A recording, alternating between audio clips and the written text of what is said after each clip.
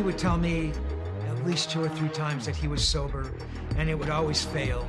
His addiction was so overwhelming and so powerful. This Sunday, the hit show Autopsy, The Last Hours of, profiles Eddie Van Halen, who passed away from cancer in October 2020. Alcohol abuse is one of the biggest risk factors in developing head and neck cancers, and it's responsible for approximately one third of the cases worldwide. One person who won't be tuning in is his son, Wolf Van Halen, who tweeted yesterday F Reelz channel, F everyone that works on this show, and F you if you watch it. Effing disgusting trying to glamorize someone's death from cancer. Pathetic and heartless. His mom, Valerie Bertinelli, added to Wolf's tweet, Good Christ, this is disgusting. And looking at his medical history, I see that Eddie had been battling with another highly addictive substance, and that's cocaine. Despite Wolf and Valerie's objections, the episode will air as intended this weekend, with Reelz channel saying Autopsy, the last hours of, responsibly explores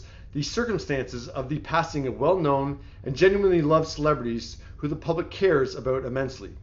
The Reel series generates much feedback from our viewers, ranging from medical professionals who praise its scientific accuracy, fans who tell us it provides closure, or that they have become more proactive for the benefit of their health, and many who gain helpful perspective of health issues that might not otherwise receive attention. When you drink alcohol, your body breaks it down into a chemical called acetaldehyde. Now, acetaldehyde damages your DNA and prevents your body from repairing the damage. In Eddie's case, the episode explains how excessively drinking alcohol can increase one's chance of getting cancer.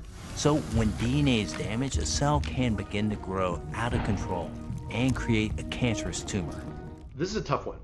I haven't seen Autopsy, but they've done a few seasons of it, so they must do it in a respectful, accurate, appropriate way. I get why a family would be upset that their loved one's passing is being presented as a piece of entertainment, but it is a very informative piece of entertainment. It could be helping save lives. The show's goal is to help viewers, so it has good intentions. I think as long as Autopsy isn't disrespectful and, as Wolf says, glamorizing the death of this famous person and sticks to the facts, then it seems okay with me.